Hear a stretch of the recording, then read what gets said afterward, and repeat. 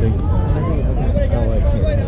I like the special thing. the Wasn't that why the goals. song? And yeah, I think that's his for Miami. But this kind of is the best receiving corps they've had in Down the zone here. And look at he just I like Mariota. I, I wanted him. He just get out of Tennessee. I wanted him at Bucs. Yeah. I, mean, I stopped being a Bucs fan. He's only good at FSU because of his all his wide all six of his receivers were first round. His three, two running backs were first round. His, all safety, everyone. That was an all-star team. Liston.